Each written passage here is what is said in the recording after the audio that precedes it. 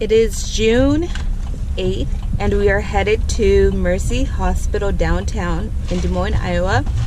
It's 7.28 a.m. and today I am scheduled for an EVC which is an inversion for Ana Teresa.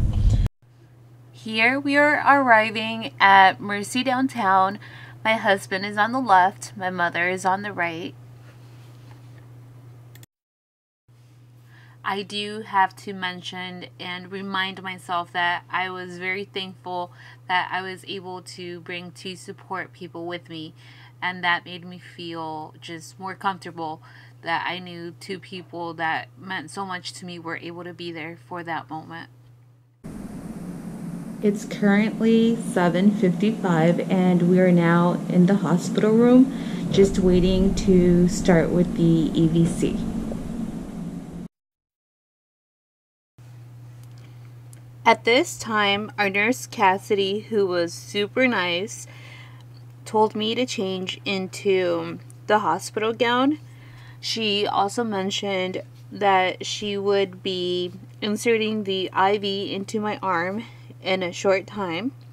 I also received a shot, uh, which was a painkiller, and I was hooked up to a monitor, which was going to monitor the heart of our baby.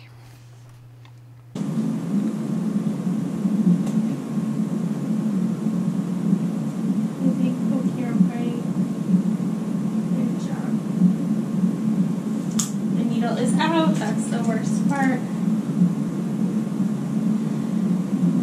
Grab some mats here, and we just hold these just in case we need them, so. They're over on the counter.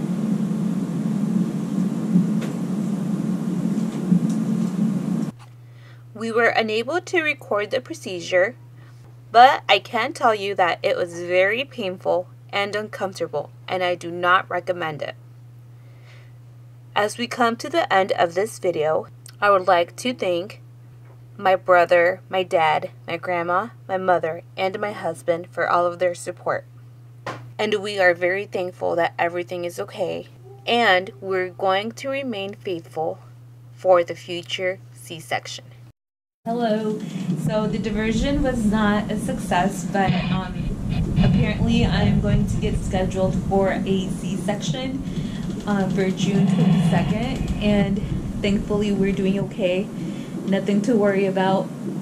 We're waiting for the doctor to come back in and say we're okay to go home.